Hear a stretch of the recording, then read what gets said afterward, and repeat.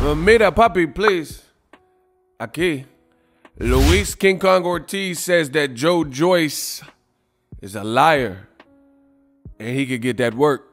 And I'm going to talk about that in this video.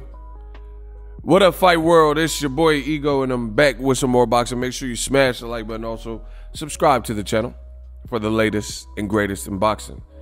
Listen, don't know how you found the video. Somehow, some way you found the video and help others and encourage others to find this video who are looking for the same content by hitting the like button. Free, simple, quick gesture goes a long way.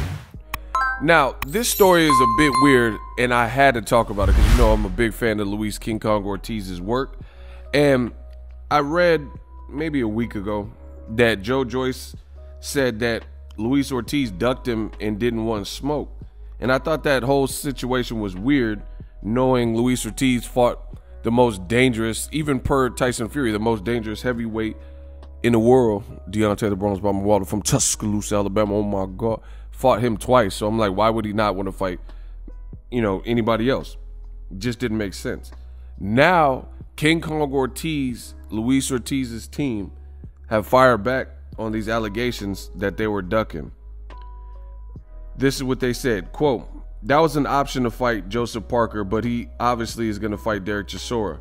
And there were a few more names. Ortiz was mentioned, but I'm not sure that he wants to smoke. But there are other names around the, the area. We'll see what we can get. Yeah, Luis Ortiz, he didn't want a war. So that's what Joe Joyce had to say, right? Then King Kong heard this or read the article and he was like, What?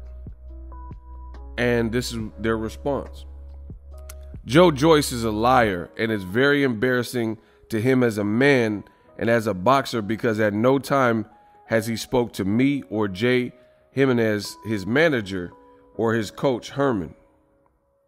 We at King Kong Boxing, so Luis Ortiz, we at Luis Ortiz Boxing Camp would love to know who this little ego man spoke to. It sounds like they're talking about me, but they're not.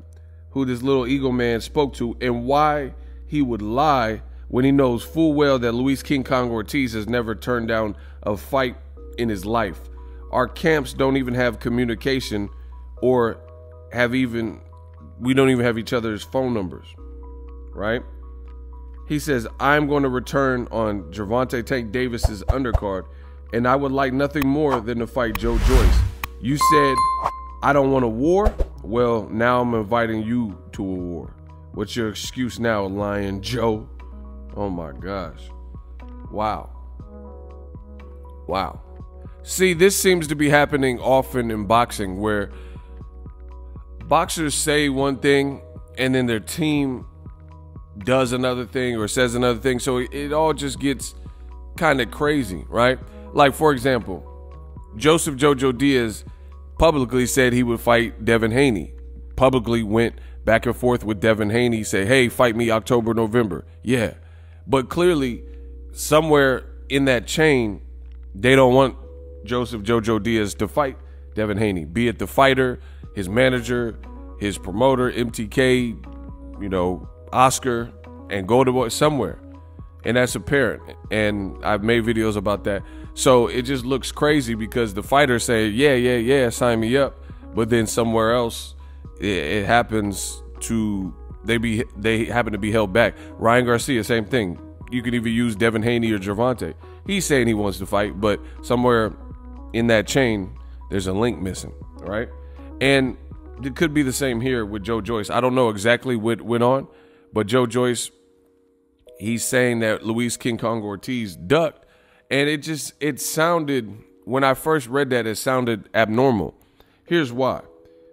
I've been in boxing so long, so I re- my memory's crazy. I remember I've been at fights. I've I've been to Joe Joyce fights when he fought in America on the Deontay Wilder undercard, and I've been to several Luis Ortiz fights. So you know I've been and covered all these guys' fights. And the thing is, Joe Joyce literally was with Abel Sanchez, and they admitted this is literally when he was fighting.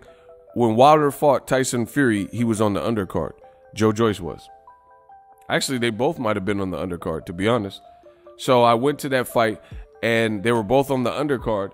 And the question of Joe Joyce fighting Abel Sanchez, now be it it was before the Daniel Dubois performance, but at that time, his then trainer and team Joe Joyce said he's not ready yet. They said that Joe Joyce wasn't ready for a guy like Luis Ortiz. So to hear, you know, a few later, a few years later, hear that Joe Joyce was accusing Luis Ortiz of ducking, that just didn't make sense, especially when, if anything, as I just mentioned, Joe Joyce was the one who his team at any point said that they weren't ready for Luis Ortiz. So why would Luis Ortiz be cowardly now? It just didn't make sense. He he got knocked out by Wilder twice the second fight, but then he came back and got a first round knockout and it just none of that made sense. 40 years old, 41. No, I'm asking how old is he? He's a lot older than I, I think. I think he's a lot. listen, listen to me. Joe, Joe, Joe, Joe brings the heat for, for he, he, that pace that he set in the first round. I promise you, he, he, he just he can maintain that pace, and uh, he's got another gear in him. I think Luis Ortiz's old legs would need some WD-40 on them for that, that fight. I'm, I'm, telling you, I'm telling you, it's, it's, it's, a, it's, a, it's factual. He would, he would put him out. Ah. I'm, I'm telling you that. What round say this? I'm not saying he what round. I'm just saying he would punch his face in. I'm, I really do believe that. But it's neither here nor there. At the end of the day, Luis Ortiz is calling Joe Joyce out. To my knowledge, Joe Joyce does not have a fight. This is an amazing fight. Gervonta Tank Davis is a knockout artist. And then you have two guys at heavyweight with power. Let's see if Joe Joyce will step up and take this Luis King Kong Ortiz. And that's the other reason why it doesn't really make sense in the world of boxing to lie on somebody and say they're down to fight because clearly when it gets back to them or their team, they're going to call your bluff and they're going to say, yo, let's good. Like, what's good? You know what I'm saying? You said this, this, and that. Let's scrap. So I guess the ball's in the court of Sam Jones and Joe Joyce.